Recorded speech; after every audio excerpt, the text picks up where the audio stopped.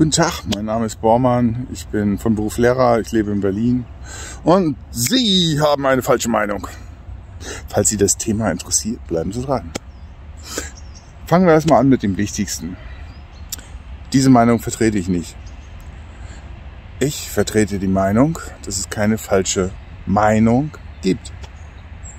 Also, Meinung ist nämlich das, was Sie aus dem machen, was sie täglich erleben, was sie wissen, wovon sie glauben, dass es richtig ist, das ist ihre Meinung. Wie könnte ich mich erdreisten, zu behaupten, dass das, was sie glauben, ihre Meinung, dass es falsch ist? Wie könnte ich mich erdreisten? Ne? Aber gehen wir jetzt mal davon aus, es wäre so. Hm, ich habe die Meinung, dass dieses Auto hier nicht hingehört. Okay, meine Meinung. Vielleicht finden Sie das gut. Es sind zwei verschiedene Meinungen. Nicht mehr und nicht weniger. Meinungen. Keine davon ist richtig. Es sind Meinungen. Das war jetzt nur ein Beispiel. Okay, machen wir jetzt mal weiter. Ich habe schon klar gemacht, dass es keine falschen Meinungen gibt. So. Jetzt fangen wir mal mit unserem Spiel an, ja? Ich erdreiste mich jetzt mal, so zu agieren wie unsere Politiker. Du hast eine falsche Meinung. Du bist ein Falschdenker. Du musst weg. Du musst tun, was wir tun. Du musst denken, was wir denken. Ja? Ist das richtig? Nein, es ist natürlich völlig falsch. Und es ist tatsächlich gegen unsere Verfassung.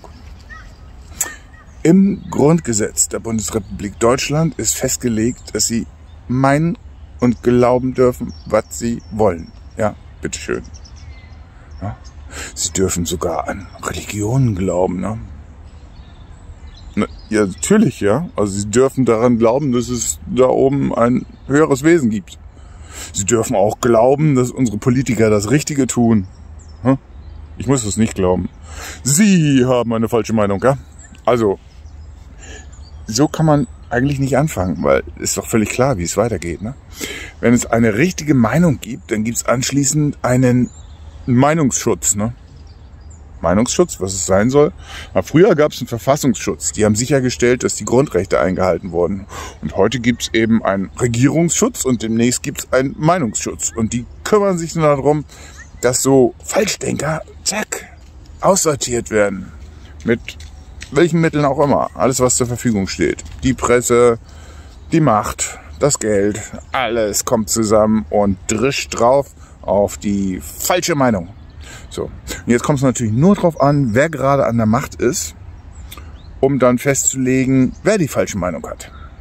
Das heißt, es können dann Oppositionsparteien fertig gemacht werden.